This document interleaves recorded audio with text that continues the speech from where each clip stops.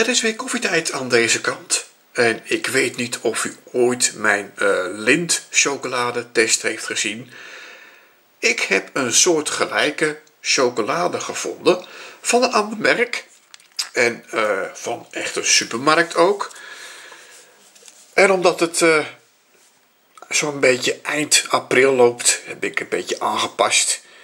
En een, een sinaasappelsmaak meegenomen. Uh, deze chocolade, in ieder geval de cacao, komt uit Peru.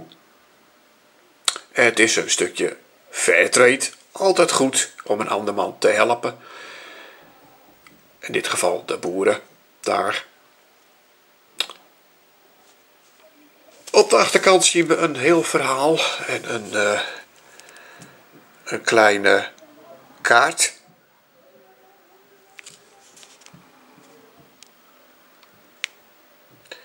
Kunt het nog lezen als u het uh, belangrijk vindt of niet. Het is 2015, dus het is nog goed. En uh, zelfs uh, de wikkel is gedrukt met een plantaardige inkt. Ja, het is mogelijk. Het is echt mogelijk, maar dat moet je niet al te serieus nemen, weet ik toevallig. Goed, laat ik het maar eens openmaken. Ik ben erg benieuwd. Zou het trouwens de lintchocolade kunnen overtreffen? Dat ben ik wel heel erg benieuwd naar trouwens. Zo.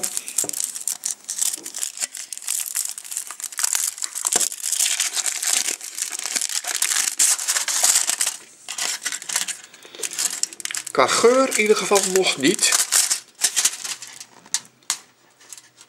Ja, nu wel. Nu ruik ik hem wel. Puur dus. Met een uh, leuke cacaoboon erop. Grappig. Ik zal even proeven, maar eerst even ruiken. Het zou een soort van fruitige cacaoboon moeten zijn. Ja, of je het verschil proeft, ik betwijfel. Maar goed, ik ga eens proeven.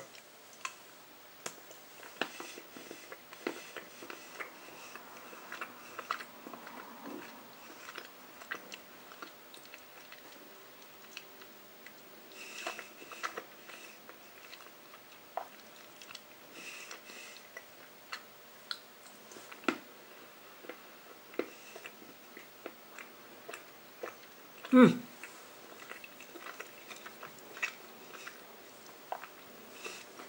Goh.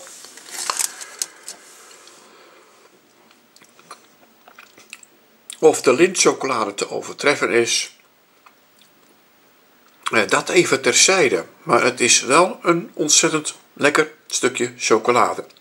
En vooral als je van puur chocolade houdt.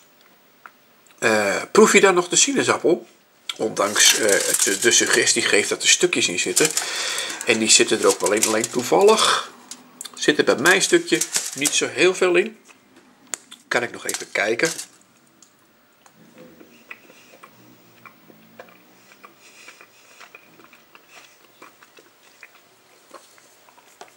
Ja, je proeft het wel. Uh, beetje subtiel. Dat sowieso. Niet te overheersend. Gewoon op een prettige manier. Is het een aanrader?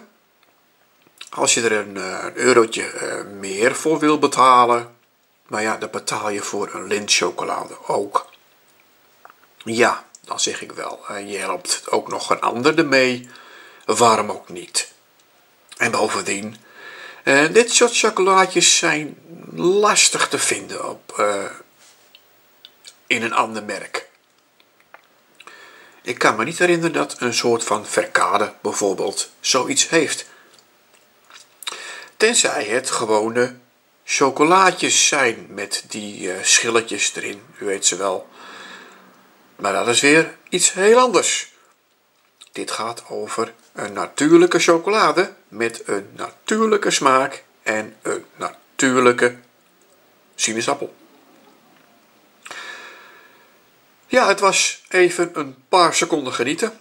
Maar ik ga ermee ophouden. Ik ga er nog van de avond nog genieten. Ik wens u in ieder geval een fijne dag. Of anders een, eh, een prettige avond. Dag, dag.